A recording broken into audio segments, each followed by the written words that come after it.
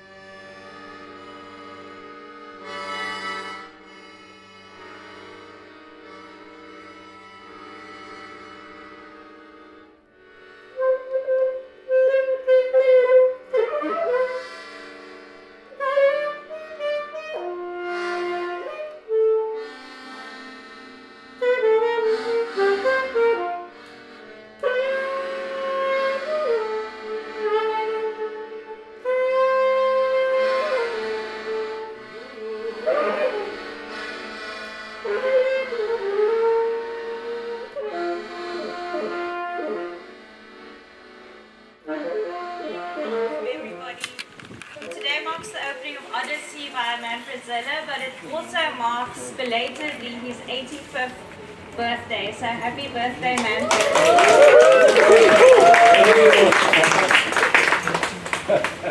I must thank Heidi Erdmann, the curator of this show, for her relentless energy, and our student helpers, Chloe Adams, Yolanda Lee, Thomas Simmons, Pete Palvo, for their hard work installing the show. Our esteemed opening speaker this evening is Professor Ciraj Rassool, longtime friend and previous bandmate of Manfred's. It's impossible to share the depth of Professor Rassool's research, publications, and other achievements, um, so I'll just give you a brief overview. Ciraj Rassool is Senior Professor of History at the University of the Western Cape and directs Remaking Societies, Remaking Persons Supernatural, Supranational Forum with partners in Accra, Kampala, and Cairo, and which supports research and scholarships in museum and heritage studies, exhibition production, and forensic history. He has directed the African program in Museum and Heritage Studies at UWC since 2003. He is also one of the principal investigators for the international project Action for African Cultural Restitution, which works on matters of museums and restitution. Michaelis warmly welcomes you as we invite you to speak.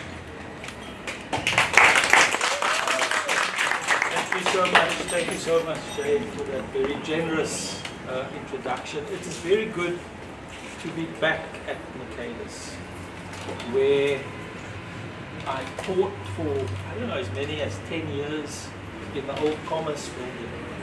Um, and but this was always a space where it was very exciting to spend a lot of time. Uh, I was an undergraduate student at the University of Cape Town. Also did a law degree. And that was, of course, on what our friends here used to call upper campus. But it, for some reason, it used to be more exciting to come to Michaelis. And as you will remember, those were very difficult days. Um, there were, there, you could count the amount of black people on this, on this campus, like on your one hand. We were a couple of hundred on upper campus.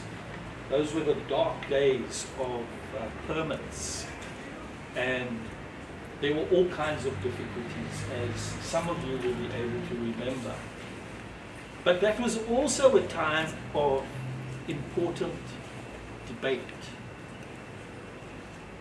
amidst political mobilization. And some of those debates were about the relationship between research and work you did at the university and how those could be brought to bear in the project of building re resources for resistance. That was a, a, a, a, fundamental question for us. And for those of us who were studying at this institution on a permit, we were under very strict instructions from the political movement to restrict what we did here because we were at the university uh, under protest. So we didn't, we weren't meant to do sport and to socialize and so forth.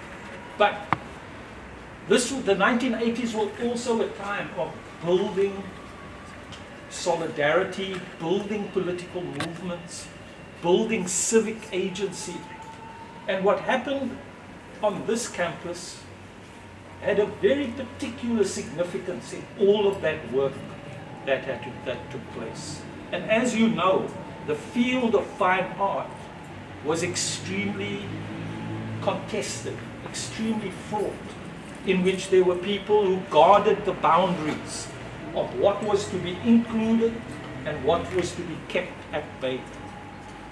And we were able to participate in some of those debates with some of our friends and comrades and colleagues at this university. I'm looking at Tina Smith just in front of me.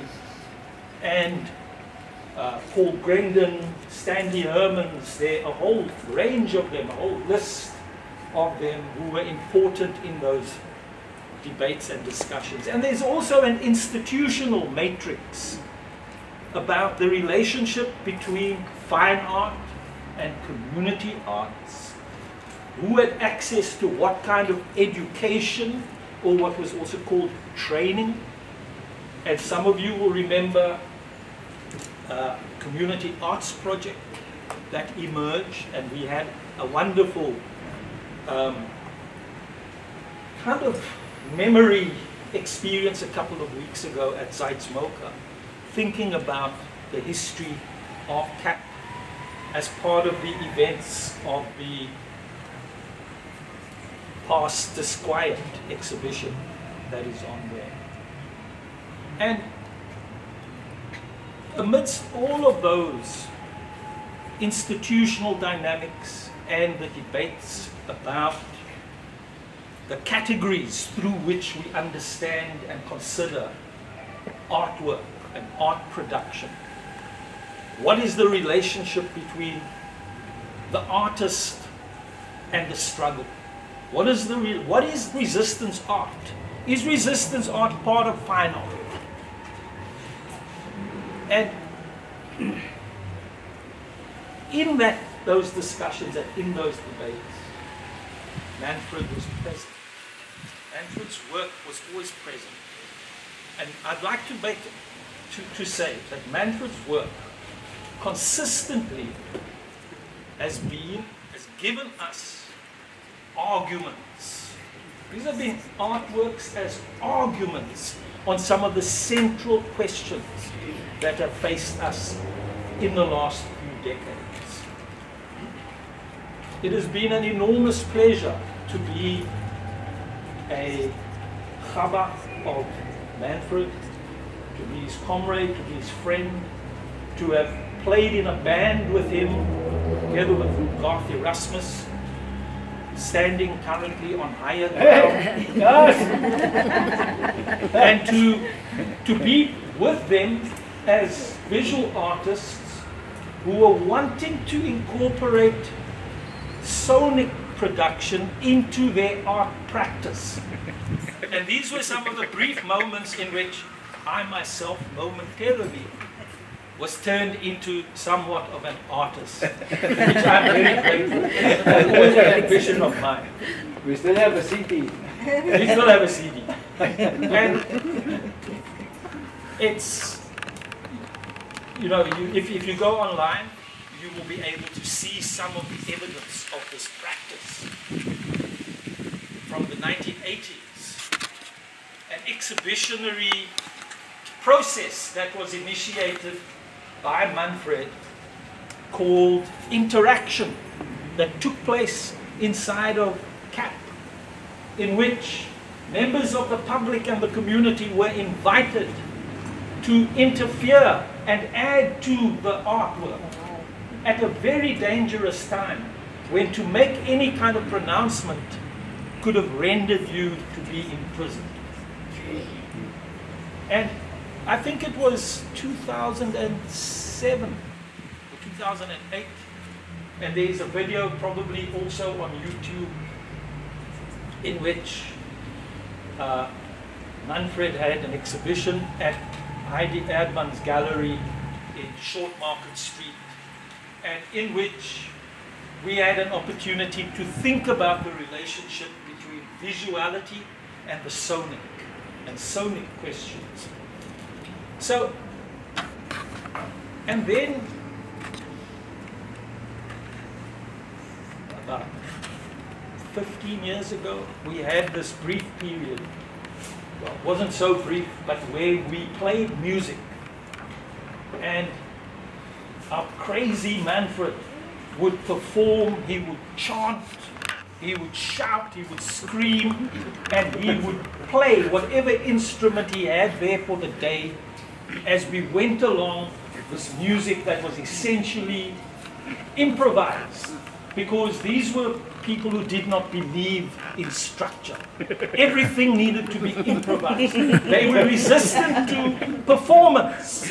They did not want to perform. They did not want to go and they did not want, not want an audience because everything had to be, couldn't be contained within any kind of structure. So, but there is a CD, and if you, some of you CD, and there was also, a, there was also a Pan-African Space Station performance that Space station. that was that was was was quite notable. And at that time, Manfred turned 70. And there was a Kenyan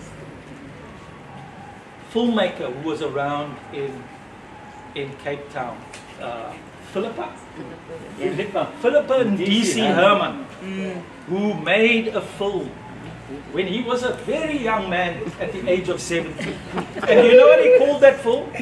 I'm not yet dead. I'm not yet dead. Well, as you can see, Yes, 15 years later, He's not yet dead. He's not yet dead.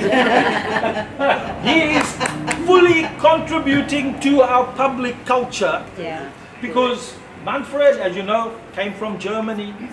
His parents were disabled people who suffered at the hands of the Nazis.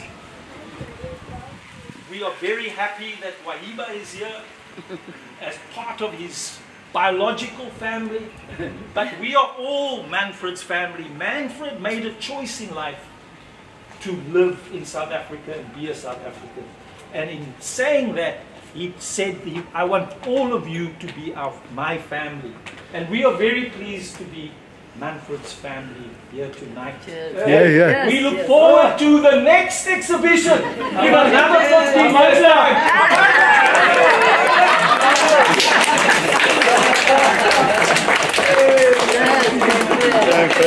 Thank you, thank you.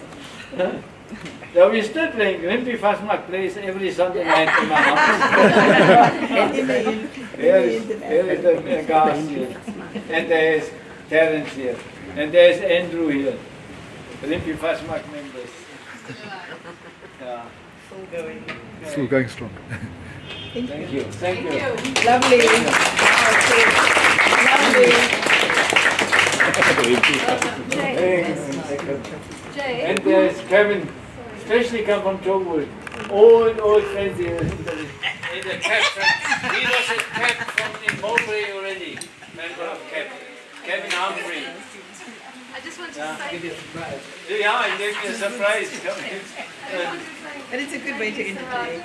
and I also just want to thank Michaelis and I want to thank Jade and the, and the students yesterday who turned this, um, this installation day into such a wonderful a wonderful day. Thank you very much and thank you all for, for being here. Thank and, you, um, Heidi. And um, happy birthday, month, month. After uh, Heidi, she did help me. She was great. and She was great. Her yesterday. And uh, there is all your students here. Yeah. I want to hug them. yes, of course. yes, thank you very much. Yeah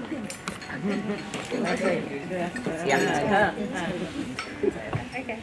Uh, people, the bar is now. Thank you.